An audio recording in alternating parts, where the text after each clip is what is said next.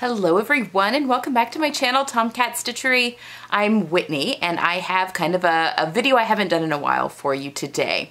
Okay, so um, if you follow the channel for any length of time, you know that I really get into some thrifting and I have a good buddy, my friend Jenni, who you've met on the channel before. I'll pop actually a video up to that, a link up to that video um, above where we did a thrifting haul and talked about thrifting on the channel. Um, anyway, I uh, have not done any since February. So before COVID, pre-COVID, our thing was we would love to go on the first Saturday of the month because that um, in our area is when our Goodwills do half price Saturday.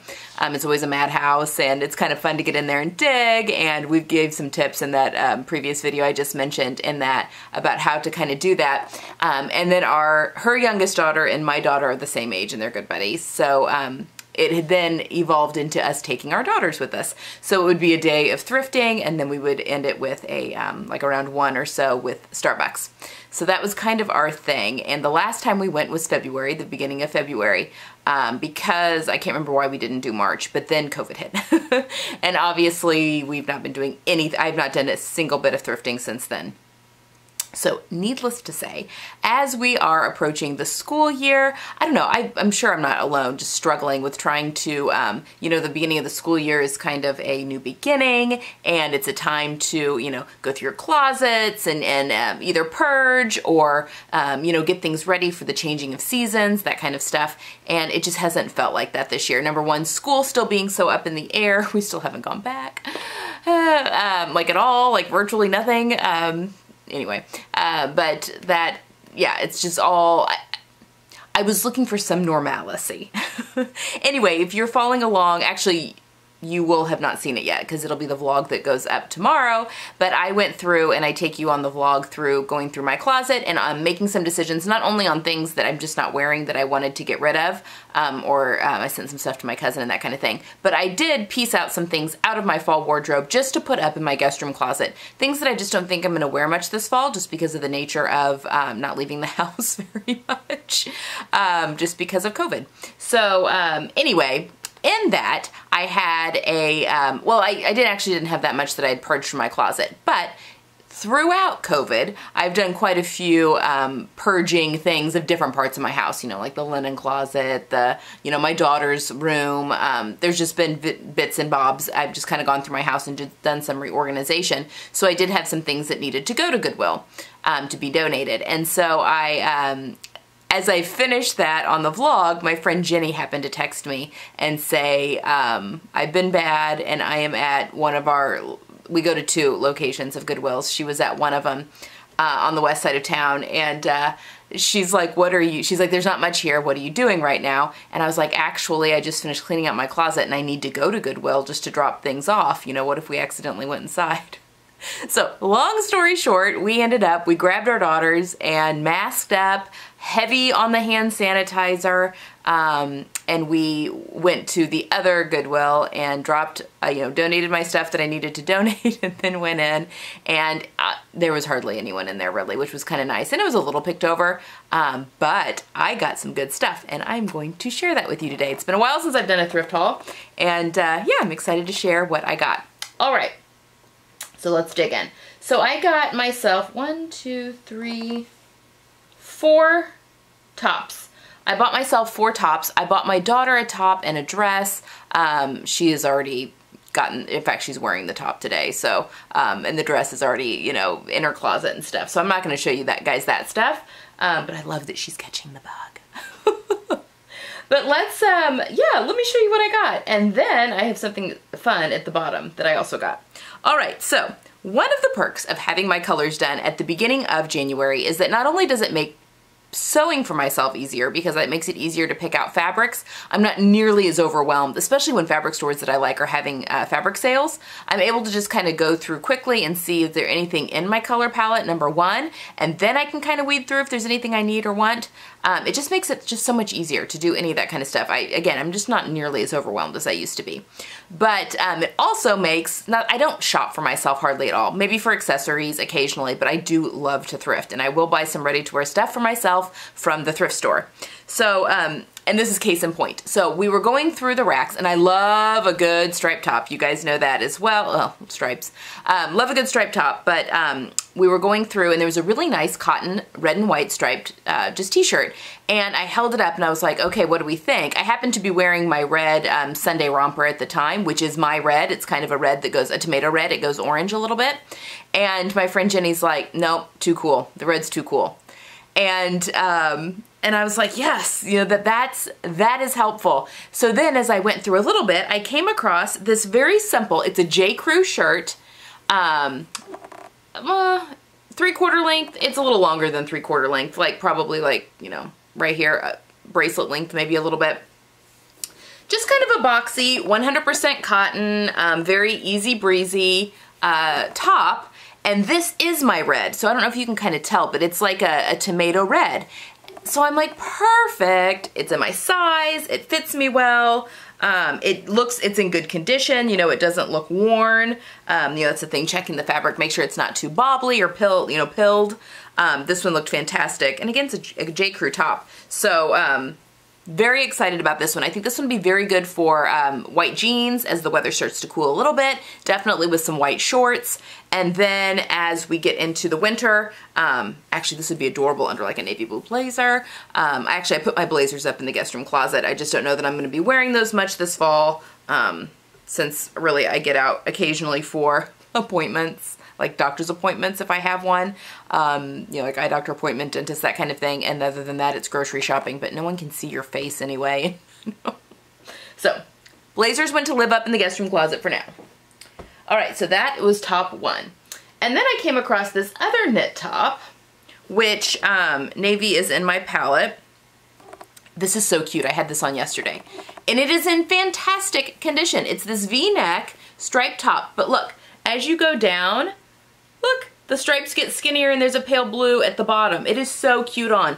And then the sleeves, they hit like um, elbow length. They're uh, elbow length sleeves, but they have this cute little ruffle on them.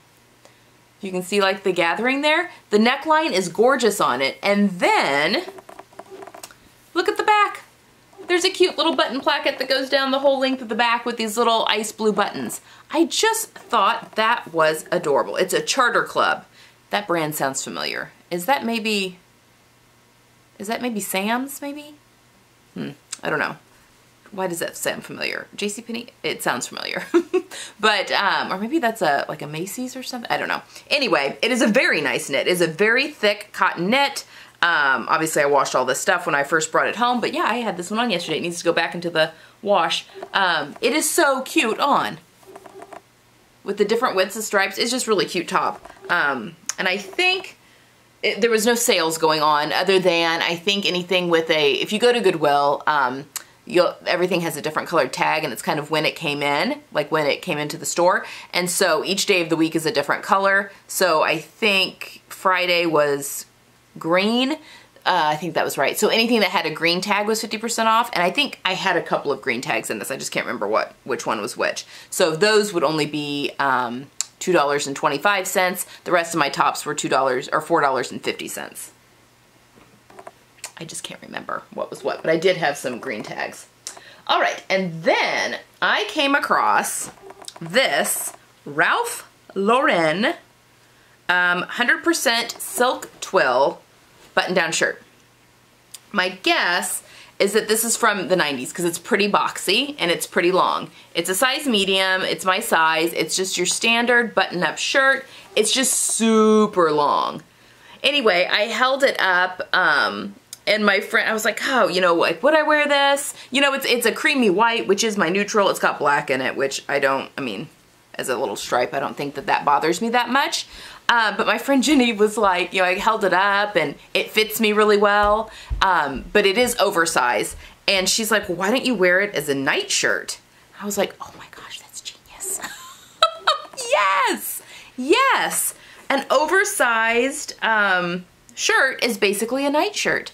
And it's silk, 100% silk. It's in fantastic condition. I washed and dried it, um, and it washed up great. Uh, there was a couple of stains, um, like right on the placket The book came out with a wash and a dry um, because you don't have to dry clean your silk folks. I do have an extra thread there that's hanging on. Um, but yes, I was like, oh my gosh, that's genius. And this will be great for when the weather gets cold um, to wear that as a nightgown because I sleep in nightgowns anyway, but I thought that was a fantastic um, idea.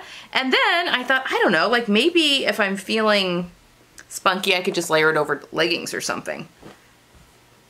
Or I guess I could tie it up. It's just kind of thick. It's a thick silk twill, so tying it up would be like at the waist or whatever, would be a little um, thick. But anyway, very excited about that one. And again, the stains came right out. All right, this one took some convincing of my friend Jenni. So, um, and this has a funny story. Okay, so this is a silk, a vintage silk blouse, and it actually, it buttons. I just don't have it buttoned right now. It buttons down the front. This totally kind of reminded me of the Seinfeld episode with the puffy shirt. Do you guys remember that Seinfeld episode? Um, I kind of totally felt that way with this top. Um, it is, again, 100% silk. It is in my color palette. This teal is 100% my color palette. And then it's got these, um, the bottom of the sleeves where it's got like a band here and then it's got like a little ruffle. That also made me think of the puffy shirt from Seinfeld. Um, anyway, this fits and it fits me really well. And I had it on, I was trying it on once I got home. They don't have any of the dressing rooms open right now at Goodwill. And I'm like, well, I think it could be cute in a pair, like tucked into a pair of like high-waisted jeans. Um, Anyway, I was doing some research for another video that will be coming up, and I was on Neta Net-a-Porter, Net-a-Porter, Net-a-Porter, which is a website for like designer clothes. I mean like high-end designer clothes. And I came across literally this blouse. It was in a cream color and then the ruffle at the bottom by the hand was more was more dramatic. It like went over her hands, which why would why would anyone wear that top? How would you be able to do anything? But um Anyway, I was like, oh my gosh, that is literally the shirt that I just wore. And the best part is that shirt on Net-a-Porter, Net-a-Porter was um, $675. and it was on sale for uh, 300 or 278 something like that. It was this shirt. It was it just in an ivory as opposed to like a cream color white. Um, but it was silk, same thing. It was the same shirt. Um, anyway, I was like, yeah, that is so hilarious, number one. Now, I'm not entirely sold on the ruffles across my, my chest um, right here, but the v-neck does help give me more skin there to where it's not quite so booby. Um, but I think I'm gonna, I, have pinned it. Actually, I'll show you a picture of the shirt right here from Net-a-Porter, Net-a-Porter, whatever, how you pronounce it. Um, but yeah, looking at, and I'm like, okay, well, I'll just style it like they did. And it is a drop shoulder, like the shoulders do come off. It's a size medium. It's my, it's, it fits me fine. Um, I think that's just the nature of it. You know, it's kind of gathered there. Anyway, it's totally vintage though. I mean, just looking at the tag, I could tell. Um, but yeah, my teal silk blouse. I'm so excited about that one. And it was like birds were singing when I found when I found that inspiration picture.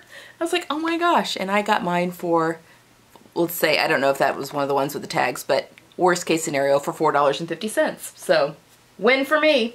Okay, now for the first time in Goodwill history, I found fabric yardage. We were in there and there was, I do see sewing machines um, pop up occasionally there at that location. It's the location that's actually on the um, east side of town, of our town. But um, they have the, you know, sewing machines that'll go down into a table, basically. You'll see those pop up, and sometimes other sewing machines, older ones usually, though, like usually the good ones. Like if you can take the time to get those uh, fixed up and cleaned up, they're probably gonna be, um, you know, if they can be, work great. Anyway, there was a sewing machine there. I didn't buy it. Um, it was $30 and I had to totally restrain myself. I just, it was in a cabinet. I just don't have room for that. Um, and I've got enough sewing machines right now. but anyway, um, I think maybe all of this came from the same person. I found a couple of sewing patterns. Um, nothing. There's like two, and, and neither of them were anything I wanted. But um, that was also the first time I found sewing patterns in a Goodwill. I never find sewing patterns at my Goodwill. So I was going through the um, sheets and blankets and curtains section. So if you're at your own Goodwill, that's where the fabric yardage will be if there is any. Um, and you could totally use uh, vintage sheet. I mean, you could use thrifted sheets and stuff. I actually use those a lot for muslins um, and curtains and that kind of thing. But um, I found actual yardage and let me show you. So I don't know if it came from the same person or what, but let me show you what I got. Okay, number one, I got, look at the color, it's corduroy. Look at that color. It is like a rusty but more red than orange.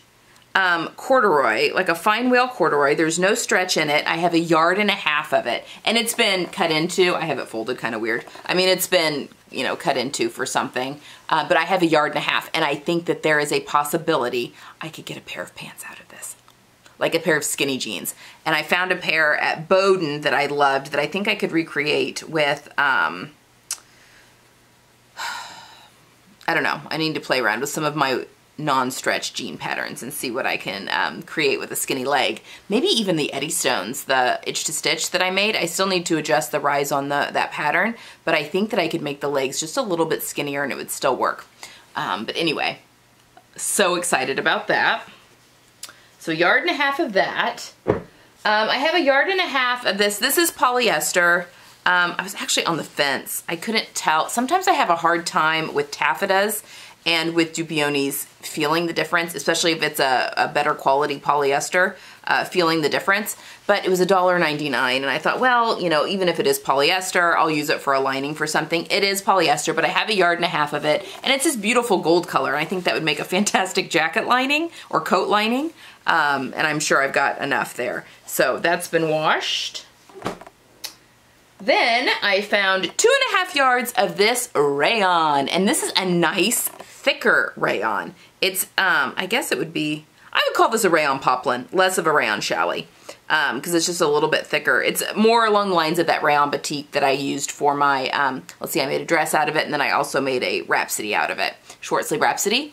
But isn't that fun? My friend Jenni said it looked very old lady, but I took that as, um, a challenge that I'm going to make. I, in fact, I think there's a seamwork dress that I've been kind of wanting to make for the fall because um, I'm in, looking for some comfy dresses that I can wear easily, um, you know, working from home, um, like the rest of us, but still feel put together. But I just love the colors. So it's kind of a, um, oh, aubergine, maybe? Like it's definitely goes purple, like a dark purple, but there is some red in there. Um, so it's, it's in my color palette completely. Anyway, love that. This one bled like crazy when I washed it. Thank goodness for the color catchers. I wasn't surprised by that. Okay. Then I found three yards of this boucle.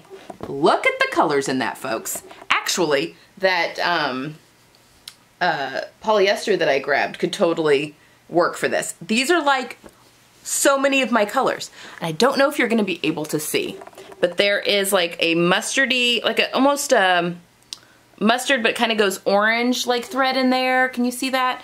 Um, there is a little bit of black, but not a lot. And then there's kind of a cranberry color and then a cocoa brown and then a little bit of pink um, that kind of goes in there but I have three yards of this. And as we were standing there, my friend Jenni, she's like, oh my gosh, I love this. You have to get this. This is gonna need, I think I am gonna dry clean this. I don't normally dry clean my yardage, but because it came, I don't know where it came from.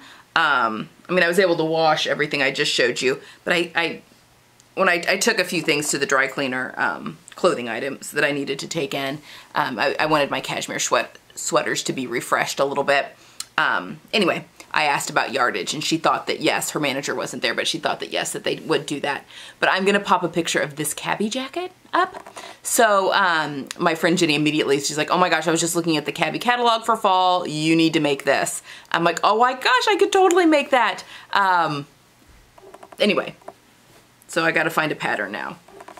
So I love the fringe. Can you tell that that's like fringe? So they've just fringed the whole bottom of that jacket. It's like a short kind of wool trench wool coat and then it's fringed from the bottom. I just think that that's, that can be really fun. So there is that, three yards of that. And again, I think I paid $5 or $4.99 for this, $1.99 for each of those three that I just showed you. I think this was $4.99 and then this was $6.99. And folks, I got four yards of this wool suiting. Look at that. Isn't that beautiful? And it's definitely manly, but it's like a, a it's a blue. I mean, there's navy in there and there's a little bit of like, um, like dark navy, maybe even black, and then more of like a mid navy. And then the background is like a teal. Like it definitely is like a blue that goes green. I have four yards of this and I paid $7 for it and it is beautiful. It's a beautiful wool suiting. And there were a few more things that were there. Um, there was some home dec fabric, I think, that was yardage. Uh, and there was a couple more um, polyester blend fabric fabrics um, that were there as well that I passed on. Number one, they weren't my colors, and um, I just didn't like the feel of them. But I totally grabbed all those. I spent $45 on all of that, plus a shirt and a dress for my daughter that she picked out. So um, not as good as my half price Saturdays because um, I can usually get out of there usually $35 and under with a ton of stuff. But I am so over the moon with this fabric. And it's the first time I found fabric at my Goodwill. So it was a very, very exciting day. Um, anyway, and it was just good to get out and feel a little bit like normal. I mean, we were all masked up, obviously. Um, we always hand sanitize a lot when we do our Goodwill um, shopping. Uh, so it was different, but it still felt a little bit more normal, um, which I think is important. Just to have just a few things that are just a little bit. I mean, I know nothing can be completely normal yet, but um, it definitely helped. So that's all I have to share with you guys today. All right, I hope you enjoyed my thrift haul. It's been a while since I've been had a chance to do that. Um, Friday, I've been doing a lot of research on Friday's video, and um, I think it's going to go up on Friday, but I'm going to be talking about, um, and I haven't decided on a number yet either, so I can't give you too much information, but basically work from home pieces that should be in everyone's closet. So uh, silhouettes. Um, of work on and I'm gonna be putting a whole bunch of patterns um, or not a whole bunch multiple patterns for each piece of clothing um, to give you some ideas of different patterns that you could use to kind of recreate that. Um, since so many people are working from home and a lot of these too with just a, a, tweak of accessories or an addition of a blazer or something like that you could very easily go from working at home to an office if your office has opened back up and you are you can go back in. So uh, that's gonna be Friday's video. I've had a lot of time a lot of fun researching that um, yeah, you know, because I mean, I do work from home. I work from home normally, even without there being a pandemic. But I just really like the idea of um, forcing myself to dress every day, especially right now, just to make myself feel more put together and just to feel better. Um, so anyway, I thought that would be a fun vid video to do. Um, and right now it's eight pieces of essential pieces for your uh, work from home wardrobe. And then I'll list patterns for each piece um, that you could kind of get an idea or choose from or whatever. But I may be adding two more categories on there, two more pieces, so we'll see. all right, that's all I've got for today, guys. I hope you have a wonderful Tuesday. Um, have a good week. Hope you get some sewing in there, and I will see you tomorrow for the weekly vlog. Bye!